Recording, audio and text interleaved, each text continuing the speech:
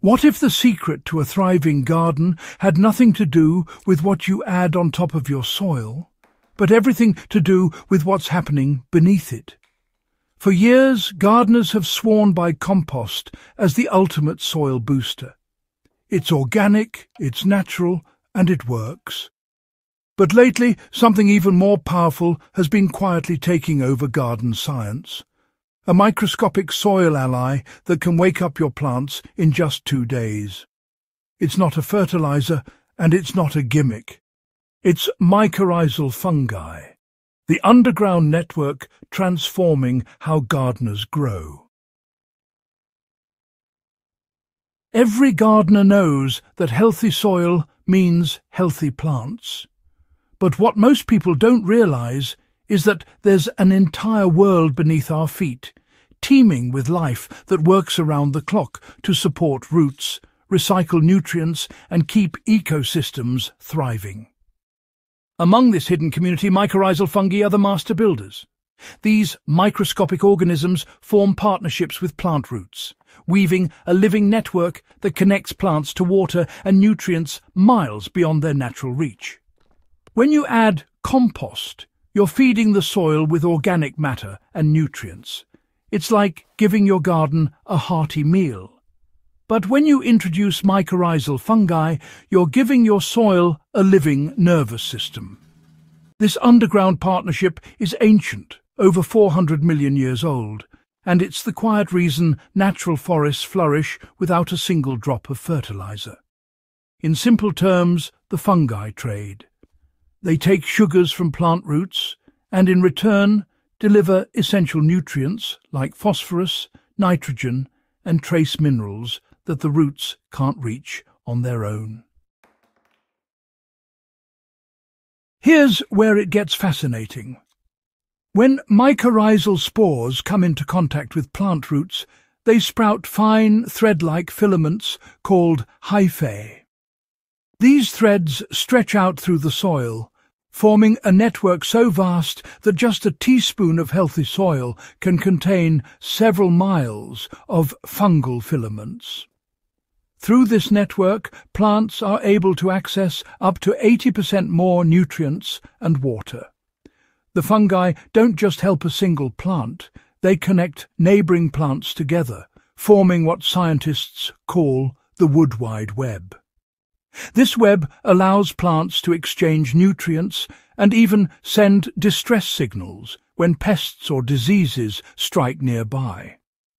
While compost improves soil structure over time, the fungal connection works fast, sometimes visible within just 48 hours.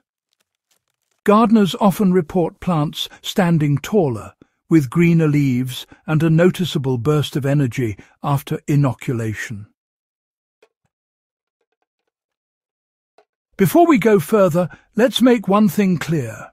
Compost and fungi are not rivals. Compost feeds the soil. Fungi bring it to life. The magic happens when both are working together. Compost provides the organic matter fungi need to thrive, while fungi turn those nutrients into an active delivery system that plants can access immediately. However, if you're looking for fast results, Mycorrhizal fungi take the lead. Compost works slowly, enriching soil structure and microbial life over weeks or months. Fungi, once established, can show results within a couple of days because they integrate directly with your plant's roots. So, let's take a simple experiment. Imagine two tomato seedlings, both planted in identical soil mixes. One receives compost alone, while the other gets a little boost with a mycorrhizal inoculant. Within just a couple of days, you'll notice the inoculated plant looks, well, livelier. Its leaves are perkier and its roots are visibly thicker. Now, within a week, it's noticeably taller, greener and more resilient, even though both are given the same amount of water. This isn't magic, folks. It's just biology at work. The fungi actually extend the plant's root system by forming these micro-pathways, which transport water and nutrients much faster than roots could manage on their own. Even professional growers and reforestation projects are starting to rely on mycorrhizal technology. From vineyards in California to rewilding programs in Africa, these fungi help plants get established more quickly in poor or dry soils, reduce the need for fertilizers, and cut down on transplant shock. Applying mycorrhizal fungi in your own garden is actually easier than most people think. For general home gardening, just mix one teaspoon of powdered mycorrhizal inoculant per plant directly into the planting hole or around the root zone. If you're treating multiple plants, Dissolve about 10 grams, which is roughly 2 teaspoons, of inoculant in 1 litre, or about 4 cups of water. Give it a gentle stir and then water it around the roots. This simple step helps the spores make direct contact with the root tips, which is where colonization begins. Always remember to apply the fungi to living roots they really need that connection to survive. Also, try to avoid using chemical fertilizers right after application, since high phosphorus levels can actually suppress the fungal growth.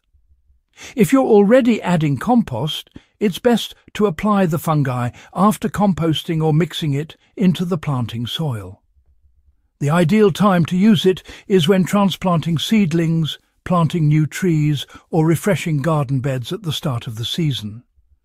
Once the fungi establish themselves, they can persist for years, continually connecting with new roots as your garden grows.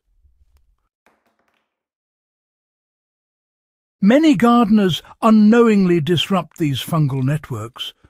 Overtilling the soil breaks the delicate hyphae, severing their connections. Try switching to low-till or no-till methods to keep those networks intact. Overusing synthetic fertilizers, especially phosphorus-rich ones, can also discourage plants from partnering with fungi, as the roots stop signaling for their help when nutrients are too abundant. Healthy fungal activity thrives in living soils, so keep your beds covered with organic mulch and avoid leaving bare soil exposed. Encourage diversity in your garden with a mix of flowers, vegetables and perennials. The greater the variety, the stronger the fungal network becomes. What's happening in your backyard has global implications. Mycorrhizal fungi don't just boost garden growth. They play a key role in restoring degraded land and even fighting climate change. These underground networks lock carbon into the soil, preventing it from escaping into the atmosphere. They help crops thrive without heavy fertilizer use and protect ecosystems from drying out. When you introduce mycorrhizae into your garden, you're participating in something bigger, a natural system of regeneration that's been sustaining Earth's plant life for millions of years. So, which one truly wakes up your soil faster? Compost or mycorrhizal fungi? Compost builds the foundation, slowly enriching your soil's health over time. Mycorrhizal fungi, however, ignite it, supercharging plant growth, unlocking nutrients and transforming your soil's biology in as little as 48 hours. The real magic happens when you combine both. Compost fuels the soil and fungi activate it, creating a living, breathing system beneath your feet. If you've never tried it, this is your sign to give it a go. Start small, test it on one bed or a few plants, and watch the transformation happen before your eyes. And if you found this guide helpful, don't forget to subscribe to Timeless Crops Haven for more science-backed gardening tips. Hit that like button, share this video with your fellow growers, and let's keep awakening soils, one garden at a time.